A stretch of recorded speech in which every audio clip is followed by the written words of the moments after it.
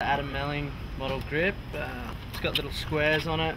It's kind of Poncho, the poncho. board sock, The power scraper. wax case, kidney belt, Board wrap. wet backpack. Um, it's really soft around the ankle, you know.